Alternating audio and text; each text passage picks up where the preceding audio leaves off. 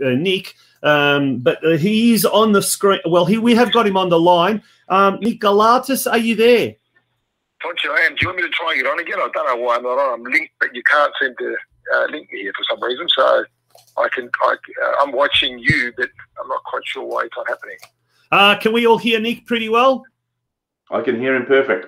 Okay, Nick. Well, well, you're on here, so so what we'll do, um, we'll try and we'll we'll um we'll, we'll just have to pop you up there like that. There we go. um, Nick. Well, well first of all, yeah. Now, well, thank you very much for joining us tonight. Um, we really, really appreciate your time, and um, it's been an absolute pleasure. Well, it is an absolute pleasure having you on the um show for for our very first show of of 2021. But mate, um, the last two years. Um, since or has it been two years since you've been involved with the Australian uh, with the Association of Australian Football Clubs? Um, it's been it's been a very eventful time, but um, you know, in the last week or two weeks, there's been a, quite a fair bit of talk about not just um, um, I guess the the the fact that we we've got him, we might have him, we might have him. He's gonna he's gonna come on. We've got him. Is that better, boys? There we Oh, go. Look at that. Look at that. Mate, that's great to have you on board. How are you, mate? How's things? I'm very well, thanks. Uh, good to be on. So I heard what you were saying there, so you can continue from there. So I heard you um the intro. Yep. So yep, let's, So let's uh, let's talk let's about it. James Johnson came out um, in the press or about a week ago, and he talked about the fact that it's it's it's a case of now not do we need a second national second division? It's when, and I guess the big thing now is between AAFC and the FA is is the difference in how it should be executed. Yep. Uh, James Johnson is proposing a model maybe where the clubs will play in their NPL divisions during the winter, I suppose, and once that finishes, it would go off and into a um, sort of an expanded national Premier League's championship, isn't it? Like a Champions League format. Yeah, um, Tonci, Tell us just- more about what what he's what he's suggesting. Yeah, before we go, I mean, what he, uh, James has suggested, um, you've heard, we've heard, uh, and in fairness to uh, to James, it's it's a developing situation. It's not that um, James has put up or the FFA has put up a particular um, model. He's just suggesting, for example, and I think uh, from what he said to Simon Hill the other day, that uh, philosophically he said he favours what um, a national division of the type that we've proposed. Yep. Um, and but pragmatically, I think he, he said, using his word, um, he wants to make sure that what we're proposing can work.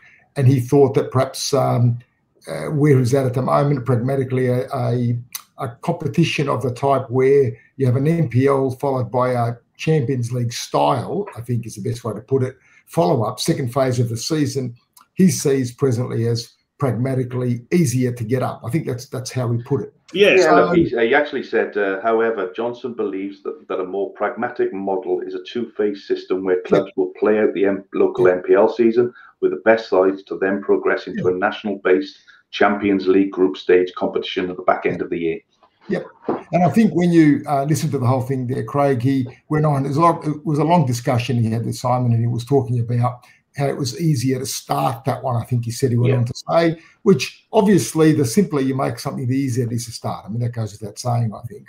So the question and uh, is, what's the best version of the second division? That's for us, and we've, I think, put front and centre in our model that we want to achieve the best possible. So from our perspective, um, we've canvassed our clubs, done a lot of work, as you would have seen in our report, and we say um, a model of the type that we've proposed is um, pragmatic, is doable. Uh, but of course, we're, we're in the working stage. And as James said, 2021 is about working. And we propose to uh, take part in that and demonstrate why it is that we say the model that we've proposed is, in fact, not only philosophically the right way to go, as James has said, in terms of his preference, but actually pragmatically, it works. And only it works, it works well and it works better than any other model. So that's that work's still to be done, and we look forward to doing it.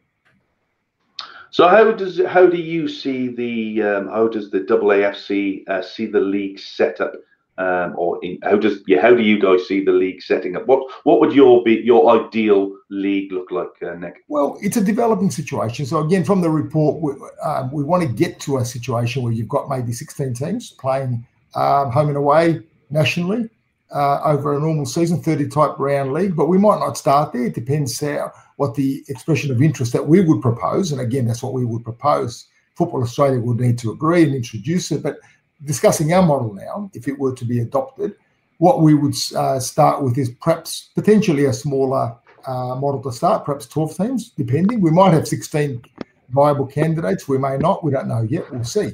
Um, but we look at, we're looking at a developing uh, model, guys, so that it would start at, uh, at one point and develop to another. So that's that's what we see as um, a viable start, moving towards uh, a far stronger and better um, second division as we progress. Yeah. So in terms of obviously the clubs, um, I would imagine, and well, we, we all know because we've all seen the, the documents. There's been a number of uh, yeah. of clubs that have um, highlighted their expression of interest to join the league. Um, where does that sit at the moment? I think, um, if I remember right, there's something around 18 clubs, 18, 20 clubs still within the um, the, the group or the, the, the, discussion groups. Is it more? No, no, it's many more. Uh, uh, Craig, we've got 32 contributing clubs to our okay. uh, what we call our partner group. And there's many other clubs, of course. It's not exclusive to them. They're, they're the clubs that are contributing and have contributed so far to the report. Um, and but there's many other clubs around the country that potentially uh, would apply. We're not excluding, from our perspective, no one is excluded. Uh, any club or group of clubs can uh, can join. We're looking for the best possible, as I said before, the best possible second division. But we have 32 directly interested participants in the report that we've prepared. As you can see on the um, footage, we've got a, a, yep. some highlights from last year's New South Wales NPL Grand Final between two clubs that certainly would be vying for that Sydney United, um, who have produced so many Socceroos over Absolutely. the years, and and and Rockdale City Star, Star Suns. Um, yeah. and, and, you mean this type of action in, in these type of stadia with these types of crowd. Now, I remember this game was absolutely you know um, pelting down with rain, but the, the, it must be a mouth-watering prospect to think that you know, these type of games could be played week in, week out, right around the country, and yes. getting crowds that, but that potentially would would be just as good as the A League. But um, probably the thing that excites me the most is that then there's this avenue for talented young individuals to play. I mean, one of the kids there, I think um, Michael Ruhs is his name, I think for Sydney mm. United, came on and now he's playing for Macarthur FC. That's, that's a great example. That that must be something that's driving you guys, Nick, as well. well. Don't you 100%? But also, um, you have to remember that's the starting point. So that will be the that will be the starting phase. That's yep. what you just put up there is the product of the NPL. Now, can you imagine where, where that could go if you take the best of and you develop it from there? So that would be absolute base starting point, what you saw. We mm. would have a far better and stronger league than that is where we want to go. So we don't want to just take that, replicate it, and leave it there. We want to take that, um, use it as our launch, and go from there. That's the point. So that you'd have the best of, and you'd have lots of these players playing together, best against best, uh, developing, and uh, putting them, putting themselves in the shop window for a league and above. That's that's part of it. That, that's critical. So going back to the clubs, Nick, for me, um, how is the AAFC going to um, finalise their clubs? What is going to be the um, the criteria involved in clubs being involved in the first uh, or the inaugural league of their um, of the B League, second division, championship, whatever we want to call it. So, Craig, as I never tire, never tire of saying, we won't be doing that. It doesn't fall to us to be doing that. We're not okay. saying we're doing it. This is a Football Australia uh, project. Uh, as James said, it's not about if anymore, it's about how and when. Our job, we're, we're contributing to that discussion. What we're saying is the clubs, um, the NPL clubs currently, uh, really is where these um, the second division clubs will come from. We're the representative body. We're doing some work. We're trying to assist. So we're not wanting to go to discussions with Football Australia, as James has pointed out in the 11 principles about having uh, discussions with member federations, AAFC, interested stakeholders, and we're not going to turn up to such a discussion uh, with a bit of guesswork and a bit of wish and a wish list. We've done a lot of work to demonstrate what the second division can look like according to our clubs. So that's where we are. It won't be us who select them. uh, and it won't be us who who um, started start this competition. We are looking to have the competition run by Football Australia. That would be how we see it. That's how I believe Football Australia sees it. Uh, in that sense, we're working hand in hand with them.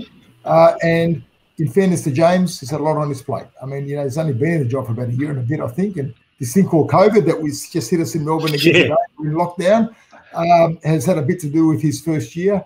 Uh, he's had to get through the unbundling. He's won this little thing called the World Cup, um, working on the domestic transfer system. He's done a bit of work.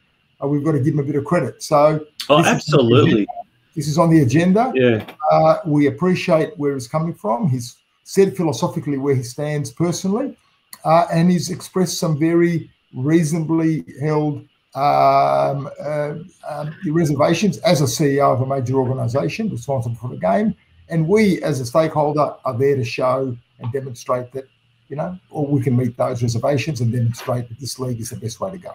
Absolutely, Nick. At the at the top of the show, we talked about how important it was over the COVID lockdown period last year for clubs to do strategic planning and and and, and this and the like. And um and you know we've said it last year as well. And I guess one of the things that James Johnson and Football Australia have done is not only planned, but they've actually actually realised certain things. They've unbundled the A League um, and the clubs. There's been serious um, discussion about the national second division, and, and, one thing talking to you about that as well is the fact that earlier today is uh, you made a really good point where you said, look, the National Soccer League finished up in 2003, mm. so a lot of those clubs have progressed and mm. and and and and and, and, and I guess uh, developed, and this second division today of 2021 or 2022 wouldn't necessarily be the NSL of 2003 no. because that would have no. almost been 20 years apart. Absolutely. tell us more about what, what you meant by that as well. Yeah, this is not, yeah, uh, well, we had a bit of a discussion there, we did. Know, uh, about, about, a number of things. It was meant to be um, uh, uh me getting my technical uh, abilities up and going. And, and we succeeded almost, in the end. that, that, that, almost didn't work, uh, but here we are. yeah, look, what, it's a big discussion, this second division, and I think uh, you know, people come at it from different angles, and everyone has their own view. And some think it's the NSL comeback, and others think it's, uh, you know, all worried about promotion and relegation to the A League, and others are are wondering about this and that, and some worry about, you know, is it going to be other clubs going to have uh, be financially strong enough, and others worry that they're going to be financially too weak, and there's all manner of issues. Now, you know, you can ask 100 people, you've got 100 different angles. All I was saying there was that um, in terms of a lot, you know that uh, part of the you know there are many clubs that hark back to the NSL, others that weren't around then, and that was and people compare it to a time when and they freeze it in time. The 2003 yeah. it ended that that league ended. Uh, many of those clubs continue. Other clubs have come along, have grown, have become very large, and many more may come. Who knows where the next big club will come from? It may, you know, we've got massive urban uh, centres growing in Australia, Melbourne, Sydney, Brisbane, elsewhere out of suburban areas, new communities coming in. Every area has to be free to mm. you know introduce their own club, which might be the next major big thing in Australia. Now, it's not about only the establishment, be it A League, be it um, uh, former large clubs, be it NPL teams. So, from our perspective, all I was saying there was that um, that was a moment that's frozen in time. Who knows where many of those clubs would be today had we had it continued? We, will never know, and it doesn't matter anymore. What matters is what we've got, that's our starting point, and we want to grow it from there. We don't want to restrict those clubs. We want to let them. They're dying to show what they can do. Yeah, and guys, in the comments to all the listeners that listen, if you have a question for Nick, I've just popped it up there. Please, uh, please don't be shy. Uh, he's uh, he's given us uh, his uh, his Friday evenings when he should be down the pub uh, for the last time for a week. Um, right. So uh, if you've got any questions for him, just pop them in the comments question. We'll get them, uh, try and get them answered for you. Maxi Santos has done that and he said, uh, then Nick, please allow the estimated uh, clubs with multi-generational supporters, history, traditions and opportunity to grow the current game today like they did in the 80s and 90s. Yeah. I think you just said that, that um, we can't go back to the 80s and 90s, unfortunately. The game's changed. Um, however, that's where effectively we want Australia to get back to the, you know, I remember I was talking to you earlier on and, you know, I remember watching Australian football when there's, you know, 10, 15,000 watching NSL games. Mm. We don't get that at A-League clubs now. So something's missing. Yep. And also, they were, they, Craig, importantly, I think that those people were going to facilities that aren't as good as today. So you know, in fairness, you probably wouldn't have got many women going back in those days because the mm, stadiums weren't up to accommodate them, and not many children. Whereas those fifteen thousand now would bring families along and friends. You get you, you have to have a multiplier effect. You might that might mean thirty today. So you know that was blokes only. To be fair, back in yeah, those days, not only but mostly because of the nature of the stadium. So we've got a lot of passionate people uh, who would be, come back into the game and also support the A League as well. It's not just about mm. uh, the, the, second division; they would be part of the game. One of the big um, points that James is trying to bring in with the eleven principles is unity and unification, and we we love that. That's what that's what we're about too. Absolutely. Let's let's touch on on the on the topic. It's always a hot mm. topic of finance how to yes. finance these clubs. And, yep. and look, what one thing we mentioned back in the day, back in the NSL days, um, you know, uh, gate gate receipts was a big thing, you know, and, mm. and clubs generally did live off, you know, gate proceeds. You know, down here in Melbourne, Melbourne Knights, South Melbourne Derby, it attract ten thousand fans. Of those, who knows, five, six, eight thousand were paying customers, mm. and it was probably three, four, five times the average gate of a normal thing. So it, for both clubs, it, it, would it would mean such a big thing budget wise. Now, yeah. how how do we like the clubs have been um, you know told to expect sort of a fine a budget of about between 1.5 and 2 million dollars. If the PFA had their way earlier last year, they would have wanted 3.5 million or something like that.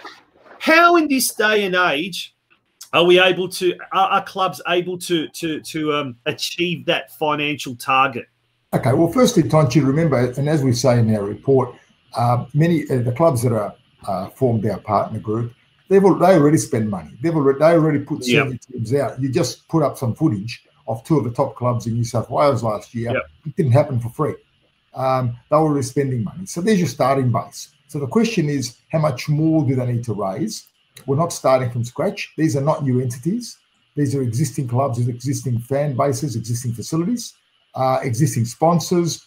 Uh, so you got you got a starting base. From there, you got to leverage them. And the work that we've done with them is to say, well, okay, if you were in the national second division and you were one of 12, 13, 14, 16 teams, what would happen? How would you leverage it? And we are being told by all of them that they what they can do. Now you you know, be able to, you've got a sponsor today at X dollars, that will be X times two because, yep. you know, they're, uh, they're part of a larger competition, national exposure.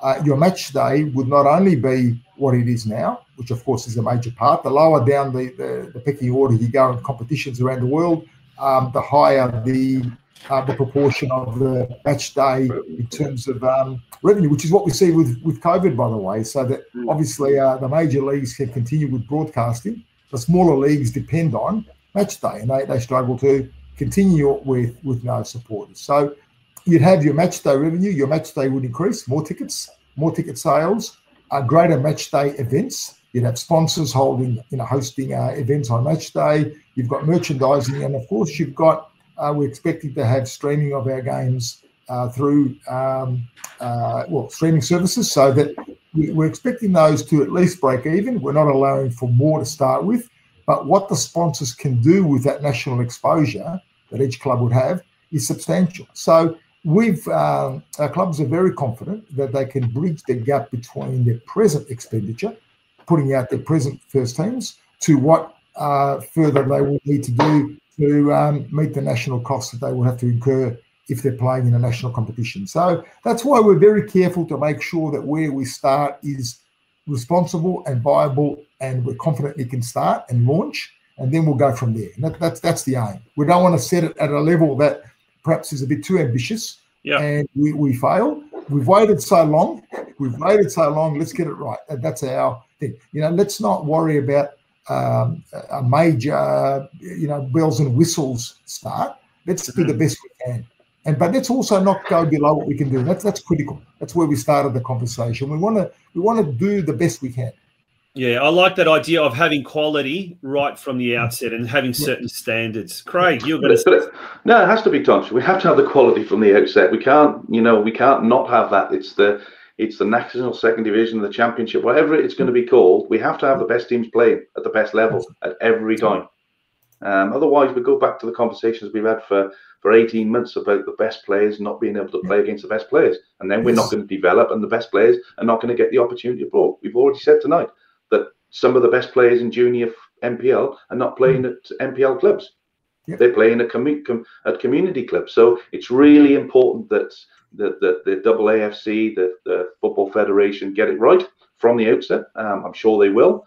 Um, it's it's something that you know every football lover in Australia want to see, um, and and let's hope that you know we can get it pretty quickly uh, without rushing it. Um, and make sure that it's uh, it's right when it's uh, when it's set up. Just question from me and Arthur Clusis has, um, has has asked the question: Will the initial selection have geographical emphasis primarily on economic economic economic economic capacity?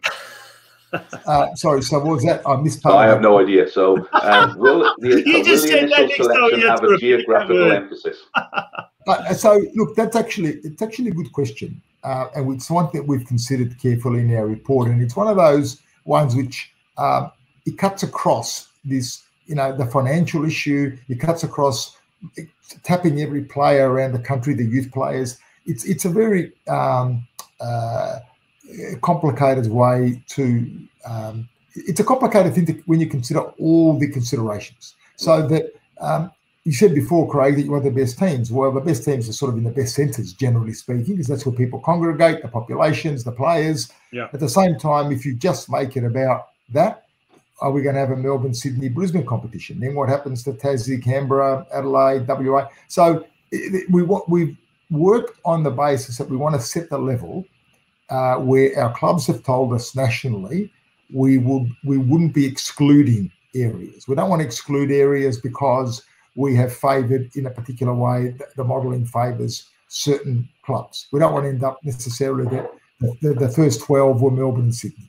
Um, we want to we want we're conscious of setting the level um, where it can be met by ambitious clubs from around the country without specifying it must have X geographical region or why, because that, that you get into that um, um, uh, hands from above type controlling controlling type um, governance that we think has actually been a bit of a problem for, for our football in this country, where it's been directed from above rather than let it find its level. So we want to find a level, but set the parameters at a level where it, um, provided clubs meet the criteria and we set the criteria at a level where they can meet them from around the country, we'll have a broad-based a broad-based competition so that our players, you know, you're from Queensland, you're not traveling to Melbourne to get a game at the second division. You can find somewhere relatively local. Australia's not that big to be too local, but relatively local, so that young people aren't all leaving their homes to go get games for the bigger clubs.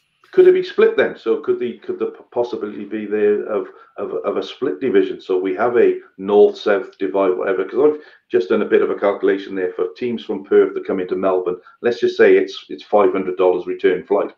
Um, you've got 22 players with officials that probably be more than that. You're talking, you know, 12, 13,000 per game, which is which is potentially a lot of money. So, is there, unfortunately, for for for for, for, for teams like Perth, you're in the middle. It's I used to call it Greece when I uh, when I came here because it's that far. It's four hours on a plane. So it's it's. got it's, good beaches too. Sorry. Got good beaches too. Spoken like a true Greek. Um, yeah, is is there is a possibility of a of a split and then coming into a a, a Champions League effect at, then at the end of the season? Is that is that a possibility, Nick? Uh, look, great look, it's possible. The question it brings us back again to what's best. So we've considered costs, um, and we, you know, for a team, if Perth were to apply, a Perth team or a couple of teams were to apply, were to meet the criteria, would be selected, then of course you'd put them at a great disadvantage if they're paying for their flights and you know week uh, every second week to come out of there. So we'd have to have. We're looking at having some sort of centralised fund to to at least to manage that reasonably to allow a team like that to come in. But the flip side of having a regional comp in a, in a, small place like Australia with a small population is then you defeat your first point, which was to get the best against the best playing, which is not only clubs, uh, Craig, but it's also you know the bigger matches, which will bring the bigger revenues, mm. which will you know get us back to that those uh, match day receipts that we were talking about, yep. etc. So if you took Melbourne and Sydney into different uh, competitions, you've lost that. So these are you started to get into the sorts of thinking that we've had to do for the last um, yeah, yeah. the months in preparing our report. And there's no there's no absolute right answer here. I mean, you, you can argue it uphill, down dale. That's why we're saying you come to the, the, the best answer you can and start. Because if we're going to sit here and talk about the ideal answer rather than the best available answer, we'll be talking forever. And there will be two other blokes on the radio with uh, you know heads like yours and a bloke with a head like mine here in 10 years from now having the same discussion. Yeah. So you know we want we want to start because we won't start meeting every single box ticked uh, perfectly. Just can't happen. Yeah. So that, that, that's what we've identified. But it doesn't mean we can't start because we can't tick every box. Yeah. That's, that's the issue. We're speaking to Nick Galatas, the um, chairman of the AAFC, the Association of Australian Football Clubs. Nick, thank you very much for joining us on here. Um, I guess the last question, well, we're going to wrap it up, and, and this it, it is a, a, discussion that can certainly go on. But um, where are we at now? As in, how realistic can we expect? Well, probably this year, unlikely, but maybe in 2022. And is it a possibility that what James is suggesting, like having some sort of an NPL playoff system, could that be the forerunner to the um, proper NSD and having it maybe at the end of this year, for example, as a mini style tournament? Where are um, we at? Where, what can we okay. expect? So, a couple of questions. a long yeah, question. And a couple of questions there, Tonci. But if I can start with the first one, if you were to be a model like ours, obviously I can speak about that because we've modelled that. We haven't modelled uh, you know, what James has proposed in great detail, although we've, we've covered it. Um, we, we would say that a model like ours, if we worked with FA from now to introduce it and it were to align with an A League competition, as again, I think um, uh, as um, Football Australia has put out its sort of its calendar, they want to align the game, which is great, and they want to have one calendar for all matches. Uh, and play everybody at the same time, assuming it's a winter type season in the A League, and it's an assumption uh, we would be ready, or even if it's a summer one, we'd be ready to start um, and align with the season after next. So if the A League season now finishes in June, I don't know when the next one's going to start. I don't know if anyone does, but um, that'll it'll be another season after the present one. The one after that, we'd be ready to align with it. So mm-hmm. the way we look at it is, uh, we'd finish up the modelling. Um, we would then put out an expression of interest, and when I say we, it'll be you know a Football Australia led um, uh, led process. Uh, clubs would be selected, and then you'd be in a process where you'd give them a, run in, maybe about 12 months, uh, to start the season, to get ready, to um, get organised, meet the new criteria, ensure that everything's in order. There's things like player contracts to, you know, standardise stuff like that to prepare. There's all sorts of things. You'd, you'd have your year, and then you'd start. So that would be if it were our competition, um, as we've proposed it. As to whether or not you can start a uh, an end of season competition earlier, well, you probably could because it's it's a lower level uh, type uh, competition proposed.